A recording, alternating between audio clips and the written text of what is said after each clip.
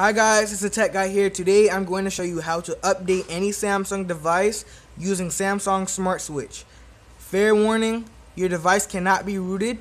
If you do have a rooted device, then this will not work. And if you do unroot your device, it still will not work. Your device will be hard bricked or soft bricked. Um, so yeah, let's get started.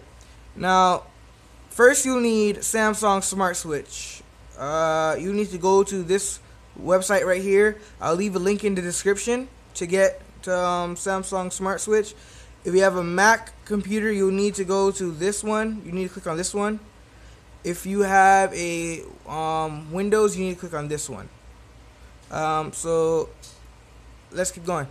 Now, to actually update your device, you want to go and click on Samsung Smart Switch right here that I have. Um, Samsung Smart Switch is going to connect to your device. Once it's connected, eh, you're going to see this page. Um, after you see this page, you want to click on More. Then click on Emergency Software Recovery and Installation. You're going to see this page pop up.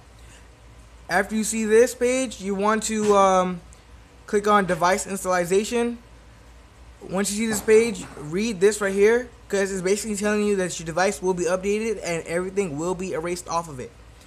Once you click OK, your device is going to be updated and it will be updated to Android 5.0 or higher or Android 6.0 Marshmallow. That's it for today, guys. Please like and subscribe. I'm out. Peace.